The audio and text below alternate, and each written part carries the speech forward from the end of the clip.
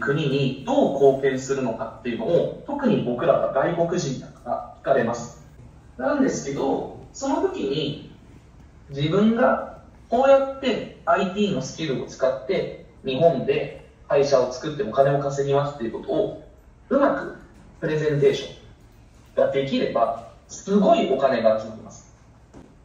先生は私はそれでたくさんお金を集めました。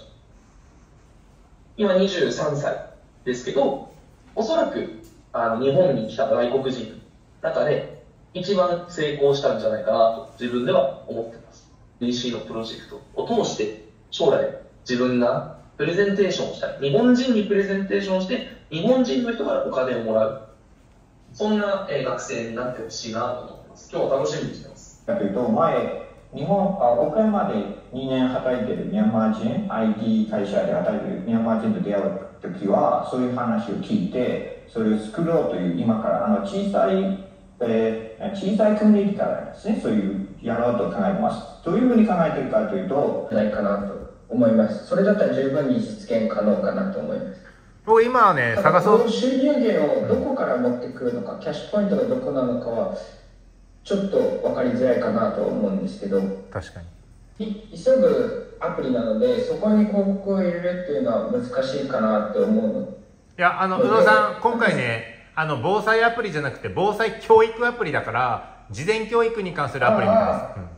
す、2つ目は、クロダイという魚が海苔を食べてしまうので、そのクロダイをみんなで食べてほしいというものです。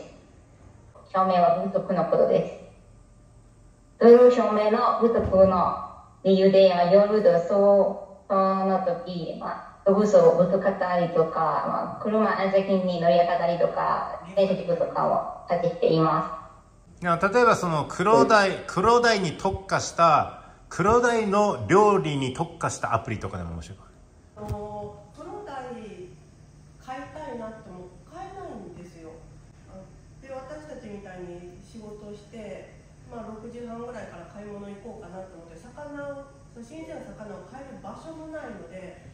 で釣っても釣っても買ってくれる人がいいないっていう生産者さんとか水産業の方と買いたいけど買えるタイミングを逃しちゃう人たちとのもうせっかくアプリ作るのはそのマッチングを。追加するのに1億円以上かかるらしいですだからどの外国語は外国語でもどの外国語にするのかとかを絞ったらいいのかもしれないですね。今岡山でたちみんなどのお祭りに興味が持たす参加することもなくそのため文化的にお祭りの継続性どんどん忘れくなっているのでそれに忘れないようにするために先生次お願いしますなんかそれを忘れないとか続続けるためにまずそのエビデンスも必要だってことだよね、うん、レフレンスとデータが必要。例えば、このリケース、この10 years でどのぐらいインクリーズしたしたのかを先生は知りたいです。今、考えてください。だってみ君たちは日本 IT ビジネスカレッジのステューデンスでしょ、はい、IT はどうやってそのフェスティバルのパーティスペンスを増やすのだからお祭りってすごい日本の特有の文化なんですけど日本人は英語ができないしインドネシア語もできないしベトナム語もできない。海外に来て超越した経済的問題について、うん、こういったいくつありますのでちょっと紹介したいと思っています。じゃあパートタイム仕事は見つけるのが難しい日本語を母国としない人々には限られた機会しか与えられない。仕事の仕事の機会を増やすために展示展示もうめちゃくちゃ儲かると思います。例えばみんな岡山にいるけど東京の会社にオンラインでパートタイムジョブできたらめっちゃ良くないですか？でも東京の会社はみんなにどうやってジョブオファーを出せばいいかってないんだよ。礼金とか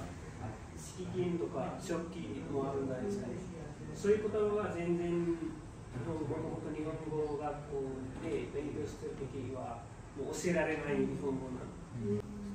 結局情報とかそういうそういうことも含まれてほしいなと思います日本の留学生です。日本の留学生の子するときはいろいろな問題があります。では日本語の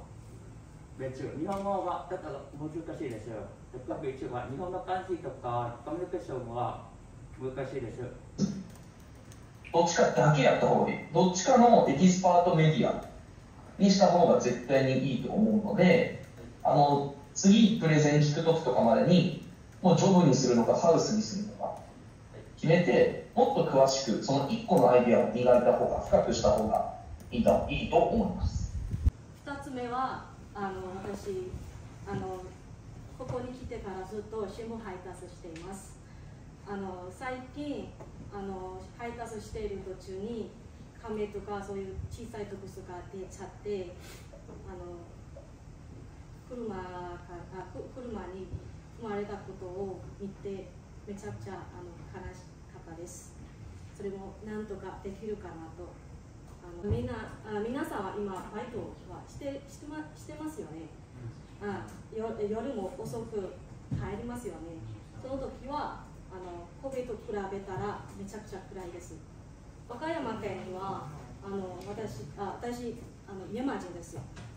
あ、うん、あのミャンマーの食べ物食べたいですけどあのミャンマーの食べ物食べたかったら東京に行くかあ大阪に行くかそれ2つしかないです。あのネットからこのアプリアプリから自分が食べたい食べ物ミャンあミャンマーミャンマーあミャンマー料理をあのアプリから注文できるアプリを作ろうかなと思って思います。ね、ミャンマーとご飯が食べれる、えー、アプリみたいなミャンマーのご飯が、まあえーと、インスタントでもいいから届くようなアプリっていうのはめちゃくちゃいいんじゃないかなとは思います。で最初はあの皆さんあのごご存知しておると思いますけどあの岡山県はあの経済が急急速に発展している地域ですが、まあ、岡山県でのあの地域課題解決と産業振興のためのメディスの病院に行ったことがあります。かあります。困るあの病院に行くときは困ることは何ですか？言葉でし